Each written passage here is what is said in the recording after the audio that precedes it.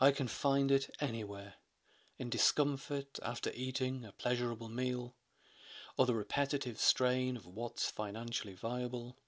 hours that flash about my shoulders in an unexpected sunlit evening, and seeing that you and I seem to have arrived here, wondering whether this latest series of perambulations really looks so enchanted any more,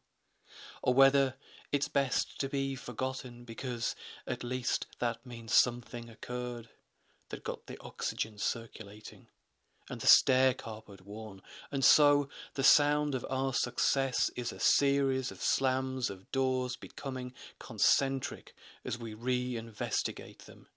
each more sacred and more us with every echo, discovering at best we are a smoothed stone emitting ripples across an autumn pond they say exists for those who have read the right books or sentences like that, which we would like to dismantle. Which means, perhaps, we are the circles, not the stone. Perhaps we need new means of measuring our reach, and that these kinds of questions, of course, also become the attic leisure, the supermarket necessity, where other questions hide, hooked and railed on a rack in a narrow hall. What was always likely is now certain. Not that it feels like much,